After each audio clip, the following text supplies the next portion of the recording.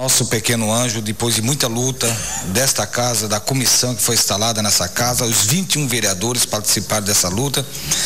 Ele eh, passa a integrar a rede de atenção, isso eh, de emergência e, e, e urgência e emergência. Isso é uma evolução muito grande.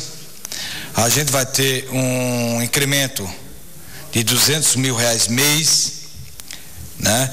E também vai ter um, um investimento de 3 milhões de reais para poder se estruturar e adequar as suas dependências para que possa atender o público infantil da nossa cidade e região.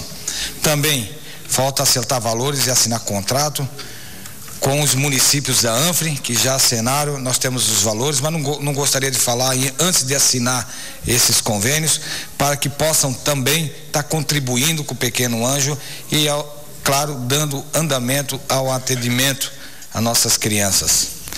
Também temos a possibilidade de receber também pelos leitos de UTI que vai ser instalado, hoje são seis, seis é, leitos, vão ser oito no total, isso daria mais 192 mil reais mês e não temos dúvida que vem atender aquela nossa expectativa de que o nosso pequeno anjo possa abrir o PA 24 horas como está planejado.